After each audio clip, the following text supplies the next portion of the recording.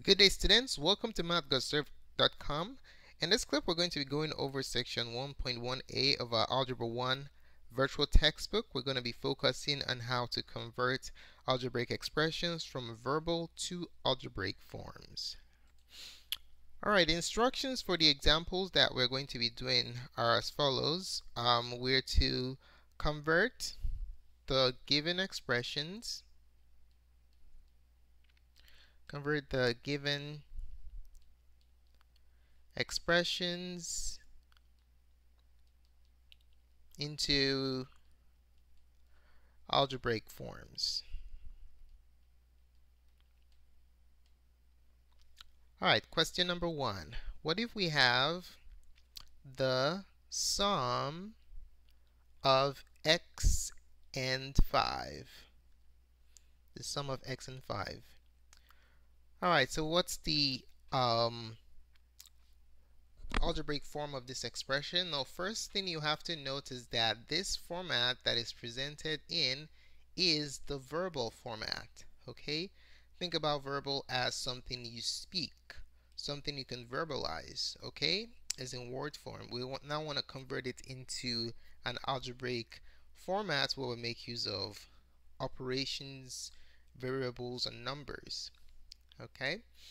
All right so sum of x and y this word word sum sum indicates what operation. Sum means to add okay? So the sum of x and y solution is simply x plus 5 the sum of x and y all right? So that's the answer to question number one. Now let's take a look at uh, question two what if we have 7 more than x? 7 more than x.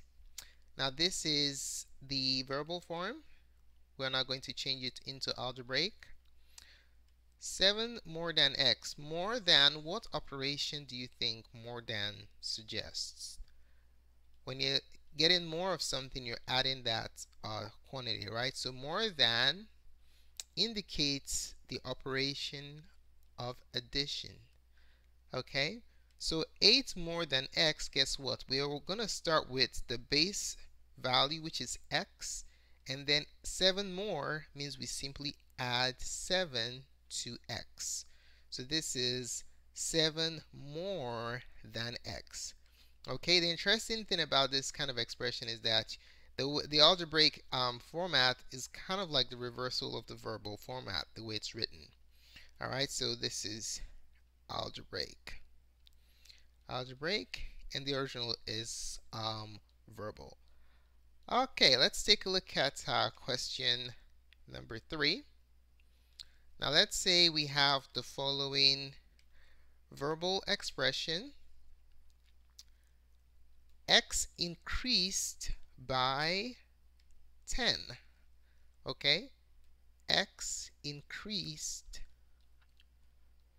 by 10.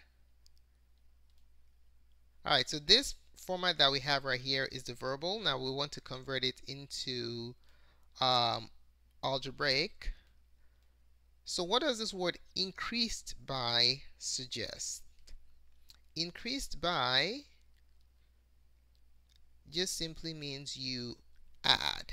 Increase, just like more than, increase indicates addition. Okay, so x increased by 10, you're going to write it in exactly the same order as the verbal form. You start with x, and increase by means to add 10. Okay, so that's the algebraic form of the original expression.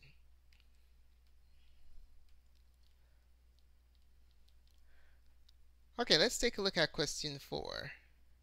What if we have the product of x and 7? Alright, this is the verbal form. What does um, the word product mean? What kind of operation is that?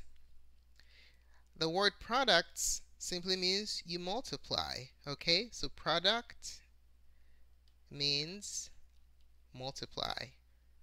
Okay, or we can we can use uh, write it using the dot product as the same um, the same operation. So let's just use the dot multiplication symbol here. So it means multiply. So the product of x and 7 can be written as x times 7 or 7x in its simplified form. Alrighty? Now let's take a look at question 5. What if we have the following verbal expression? The difference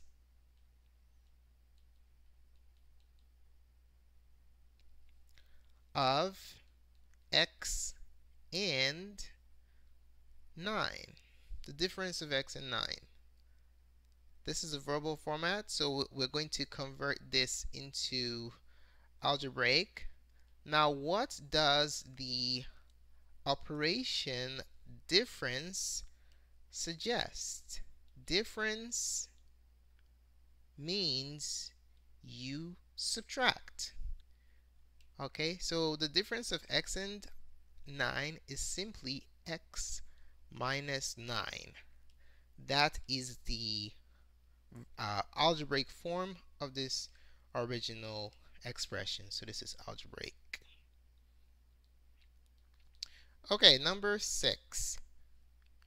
What if we have uh, the verbal expression 5 less than k.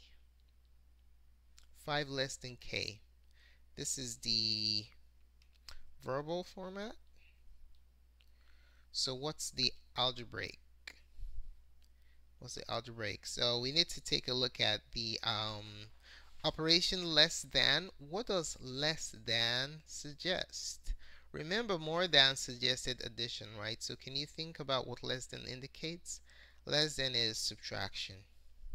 So 5 less than k, you do not write it in this order, it's reversed. Okay, 5 less than k means that the base amount you're starting with is k, and then you subtracting 5 from it.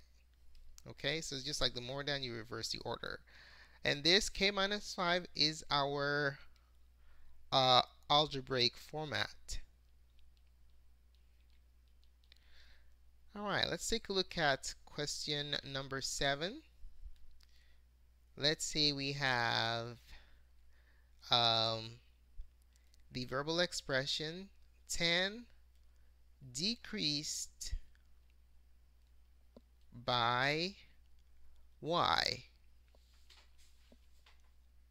Now this is verbal of course. What is the algebraic form of 10 decreased by y. Let's take a look at what the operation decreased means. Okay, so decreased is the opposite of increased. When we talked about increased earlier in problem 3, that indicated addition. What do you think decreased means? Decreased by. What does that mean? Decreased by indicates the operation of subtraction. Okay, so 10 decreased by y, you in the algebraic form, you write it in the same order. You have 10 decreased by 10 minus y as your algebraic form. Okay, so this is the algebraic form of um, 10 decreased by y. Now let's take a look at question 8. What if you have the expression the quotient the quotient of um, x and 3 the quotient of x and 3 this is the verbal format. We're going to go ahead and uh, express it in algebraic form. So the solution is as follows. Let's think about this word. I didn't spell it correctly. Quotient. What operation does quotient suggest? Quotient indicates division. Okay? So the quotient of x and 3, the term that comes first is the numerator, and the term that comes next is the denominator. Okay? Or you can think about the first term as the divisor and the second term the dividend. Uh, no, sorry, x, the first term is the dividend and the second term is the divisor. Got it backwards. All right, so x and 3, the quotient of x and 3, you're just going to have this as x divided by 3. Numerator, denominator, dividend, divisor. All right, so this is the algebraic form of writing the quotient of x and 3. So that is the answer to question number 8. Alright, let's take a look at uh, question number 9. What if you have the verbal expression k squared? How do we write this in algebraic form? k squared, this is the verbal form of the expression. Now let's write this in algebraic form. Okay? Squared. What is the algebraic representation for the word squared? A number squared just simply means you raise to the second power. Okay? So raise to the second power. Okay, just think about exponentiating to the second power. Alright, raised to the second power. So let's apply that here. k squared is simply going to be k with a um, power or exponential value of 2. Okay, it's just like superscript here. So k with a uh, exponent of 2 is k squared in algebraic form. Alright, let's take a look at question 10. The last one. What is um, x cubed x cubed in um, algebraic form? Now x cubed is the verbal form of the expression. So now uh, let's take a look at that operation cubed. What is that? Uh, how is that expressed in algebraic format? Something cubed is multiplied by itself three times. So cubed means you raise to the third power. Okay? Raise to the third power or uh, yeah, x raised to the third power where 3 is basically your exponent. Okay, so x cubed in algebraic form is x raised to the third power, x with the power of 3, or 3 as the exponential value of x, okay? So x to the third power, that's how you write it in algebraic form. Okay, so how well did you understand the problems that we covered in this presentation? Now to see if um, you've mastered the content we covered in this presentation, we'd like you to try out the following problems. You just work on um, these problems and then while you're working on the problems, pause the video and then continue um, playing the video when you're done and you will see the answers. Okay? So instructions are the same. You're to convert the given expressions into um, algebraic forms.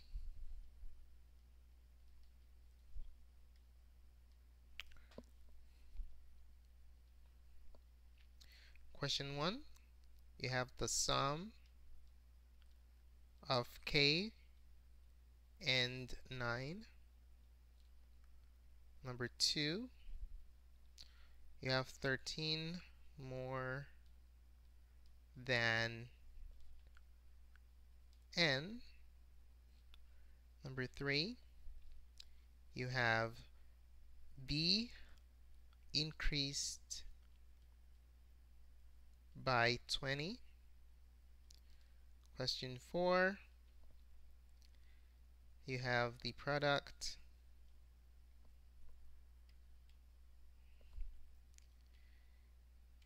the product of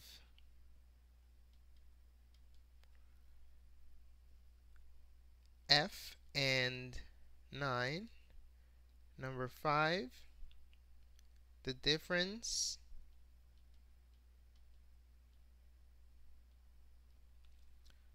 of t and 12 number 6 you have 8 less than z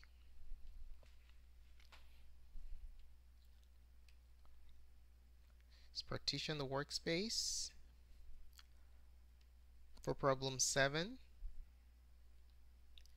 you have 52 increased by y. Number 8, you have the quotient of y and 40. Number 9, you have y squared. And number 10, you have t cubed. Okay, so pause the video, go ahead and um, convert the following expressions into algebraic forms. When you're done, click on play and then um, we're going to display the answers. Alright, so hopefully you had a chance to try out the problems. The solutions are, are as follows. For number 1, the sum of k and 9. For number 2, 13 more than n. Number 3, b increased by 20. Number 4, the product of f and 9. Number 5, the difference of t and 12. Number 6, 8 less than z. Number 7, 52 increased by y.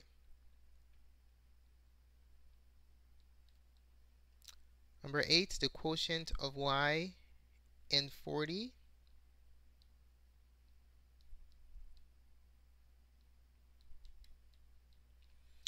Number 9, y squared. Number 10, t cubed. So there goes your answers. Thanks so much for taking the time to watch this presentation. Really appreciate it. If you found the contents of this tutorial helpful in your study of Algebra 1 and converting expressions from verbal to algebraic form, to give us a thumbs up. Your positive feedback is very valuable to us. If you have any questions or comments about the contents of this presentation or any algebra contents in general, just place your questions in the comments section below and we'll be more than glad to support you. Don't forget to subscribe to our channel for updates to other tutorials such as this. Do visit our website at mathgotserved.com for more practice tools and you can scan our QR code for access to the playlist of our Algebra 1 virtual textbook.